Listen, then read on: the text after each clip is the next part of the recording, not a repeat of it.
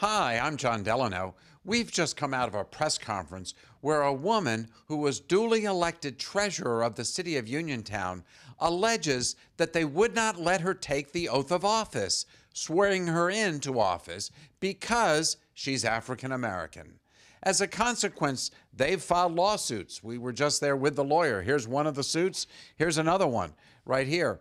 They've filed lawsuits essentially demanding that a court eh, re really put her in office, even though she has already been elected to office. What's going on here? Is there racism in Uniontown? Or at least among certain council members. The allegation is that at least one of the council members tried to put the kibosh on this woman's election and it ain't going to go. At least that's what these folks say. We're going to have all the details of what this is all about coming up tonight at 6 on KDKA.